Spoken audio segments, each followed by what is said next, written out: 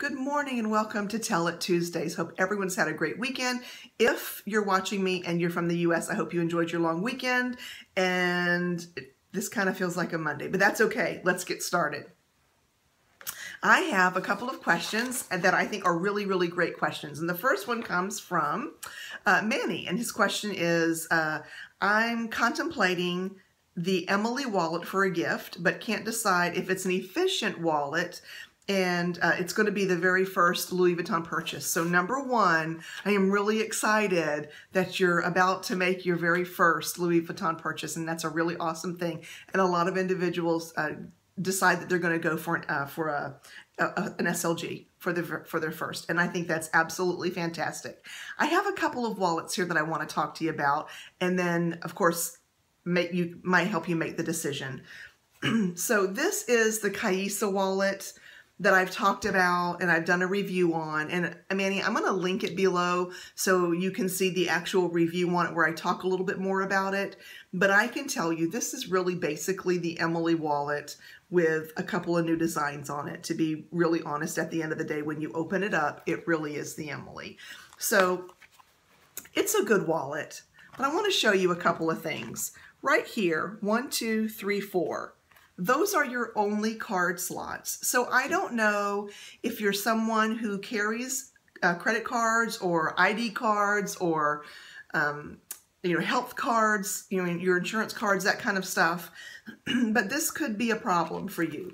There are two really, well actually there's one opening and then two little slots here that can be helpful in, in putting other cards in. I will tell you that when I bought this wallet, I knew it would be a problem for me because I am really a card carrier because I have three different insurance types of cards, you know, like, and then I have um, an ID card, and then of course store cards and all kinds of all kinds of cards. So here's what I did.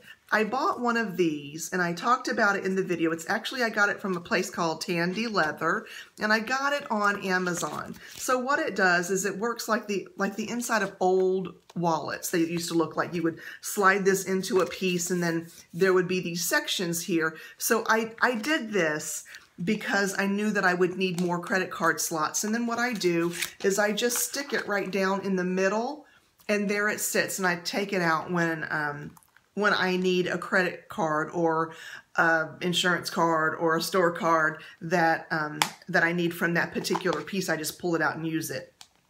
Now, here's the thing, after having done that for a few months, that kind of bothers me a little bit. It's really awesome to whip out your lovely Louis Vuitton wallet and open it up when you're getting ready to pay. And it's great if you're paying from one of these, but when you have to pull out this little tandy leather thing, um, it's it's a, a, bit of a pain because as you can see, um, it flips, it opens here. So if the card that you need is on this one, that's great. But if not, you have to flip until you get to one. I am an efficient kind of person, so it does irritate me a little bit. And I wanted to let you know that. So you might find that this is a little more aggravating than, than you want to deal with. And I know that, that a word that I caught when I was reading uh, your question was efficient. So I love this wallet. I think it's fantastic.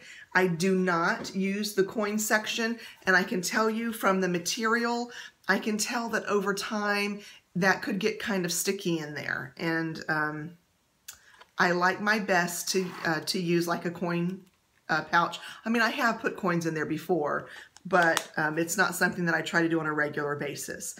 So I have to say, if you have minimal cards, this is fine and you will love it. It's a beautiful wallet, has a lovely smell to it, still leathery smell.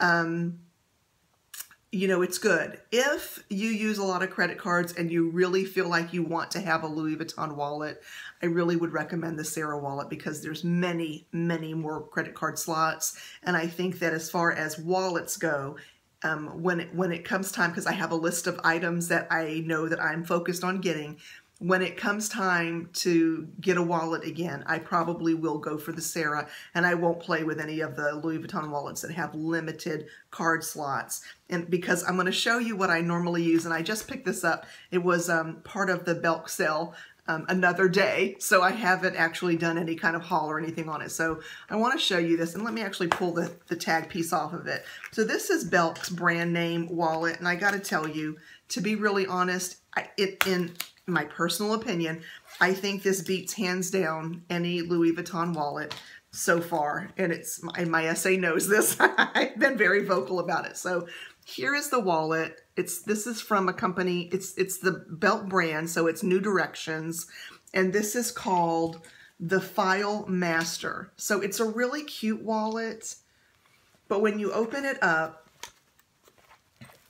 if you can look here, and I, I purchased one for my mom in past, and you've seen it. Coupons, and then this is recipe receipts, I almost said recipes.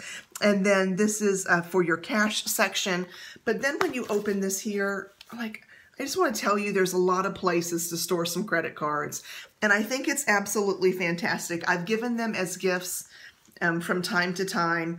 And each individual that I have passed them along to has had nothing but like just um, excitement and raves about it. And I, I think that this is a fantastic, oh, and by the way, it's called the Safe Keeper because the material um, keeps anyone from being able to read your information like if you pass by.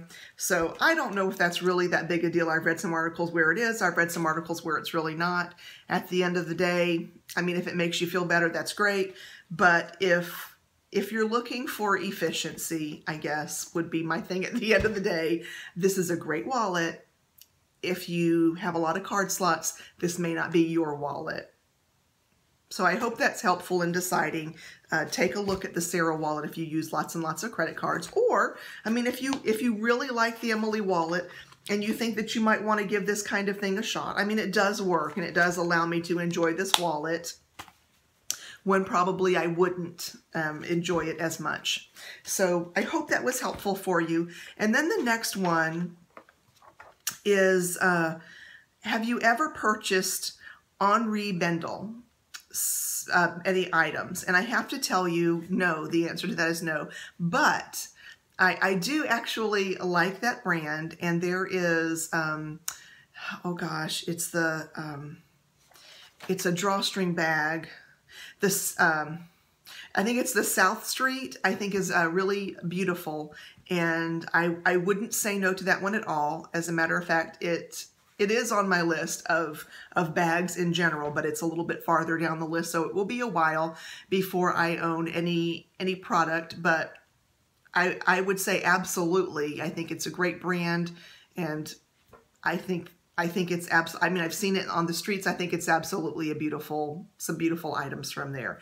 So I hope that's helpful. The next one question that I've gotten, I'm actually not going to talk about it today, but I am going to do a little teaser, I guess, uh, is what it probably would be. It's a bad comparison request for a Speedy B25 and a Neverfull MM and I'm going to do that comparison, but I probably, what I'll do is, for me, the Speedy 25 and the MM really aren't a good comparison because one is much smaller than the other. So what I'll do is I'll bring out the Speedy 25 and we'll do a Speedy 25, a Speedy 30, and then the MM. And I will do that uh, to and, and share that with you tomorrow. And then, of course, on Thursday, we have the how to buy a new uh, Louis Vuitton item or actually really a bag of your dreams. So I hope this was helpful, everyone. If you've enjoyed it, uh, please give me a thumbs up. Don't forget to subscribe, and I will see you tomorrow.